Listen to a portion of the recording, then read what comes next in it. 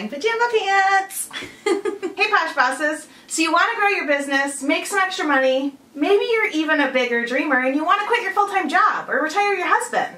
No matter how big you're looking to build your business, you can work it full-time or you can work it part-time. What you can't do is work it sometimes. You will not find long-term success being willy-nilly about your business. You will find long-term success when you're sure to touch your business every single day. And I know, I know, I can already hear you, but Jessica, I have a full-time job and a needy husband and seven children and my in-laws are moving into my basement and I think I want to get my pilot's license. I surely don't have time to work my business every single day. But you do have time. And don't worry, I'm going to help you guys map it out right now. Now, I trust you all have your notebook in hand and you've already been feverishly taking notes because that is step number one, you guys. You've got to be organized. It doesn't have to be fancy, but you've got to have all of your info in one spot. The Notes app of your iPhone could even work, but what worked for me was a trusty dusty notebook. So I've got three top tips for you to help you touch your business every single day. Now number one is keep your eye on your why. Now I know this is the basis of many of my POSH trainings, and that's because it's true. If you don't know your why, you're not going to be motivated to work toward it. Okay, tip number two. If you're anything like me, you have so much you want to get done that it's freaking overwhelming to get started.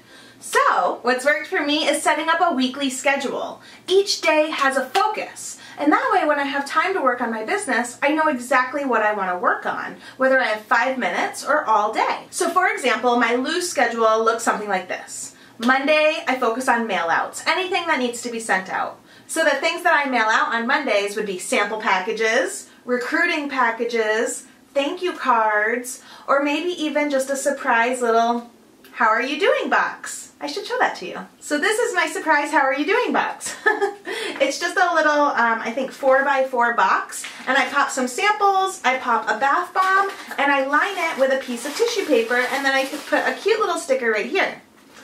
And then I take it an extra step further and I put my Jessica Posh sticker right there. But I can mail this box for like $3.50 and it's a great way to connect with a customer that I maybe haven't connected with in some time because I dropped the ball on following up or maybe a customer wants to send a little happy mail to one of their friends. I can send one of these. I might charge my customer $5 and then I send it. I'm not making a ton of money slash any money on those, but it's a service that I'm providing to my customers. Anyway, so those are the types of things I mail out on Mail Out Monday. Tuesday, I focus on training and personal development, whether I'm training my team, training the posh bosses, or training myself with personal development. Anytime that you can dip into personal development, you will be extra motivated in your business. You can do tons of things. So you can head over to Posh Bosses and look at what training is going on over there. You can head over to my YouTube channel and look at what trainings I have available there. You could read a personal development book. You can listen to a podcast. You could endless, endless amounts of things. There are so many different resources to seek out training or even provide training. Even if you only have a team of two people, they're wanting to hear from you. So maybe take a minute and explain how you do your recruiting packages. Or take a minute and explain how you wrote your Why Posh. Those types of things are going to help your team grow their business, which in turn grows yours. I call Wednesdays What's Up Wednesdays, and that's the day that I try to connect with my teammates. If you don't have a team yet, connect with your customers, or maybe connect with potential teammates, right? Use Wednesday to connect. On Thursdays, I focus on my VIP group. So you want to be posting in your VIP group. Maybe even Thursdays you go live in your VIP group.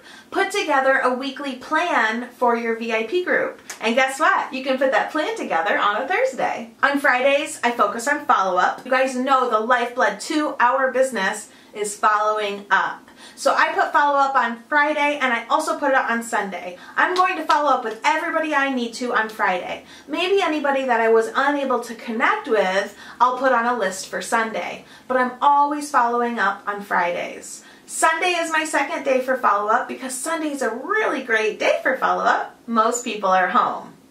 Well, most people are home every day lately, but you get the idea. Saturdays I use for YouTube. You might use it to plan out your social media posts.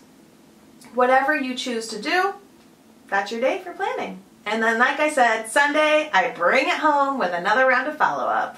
The fortune is in the follow up, you guys. And I can't tell you how many times I personally have made a purchase that I swear to you I did not even intend to make, but because the salesperson did such a great job of consistently following up, I decided I wanted to make the purchase. And it's not that they talked me into it, it's just that their following up kept it in the back of my mind, kept that subconscious thinking about it, so that when it finally came time to decision time, I was like, well, yes, I, I need it.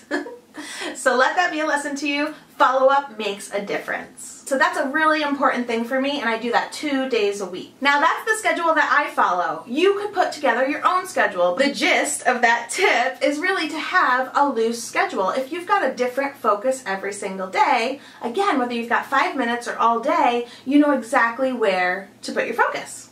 Okay, and tip number three, again, something so simple yet hardly anyone ever does it.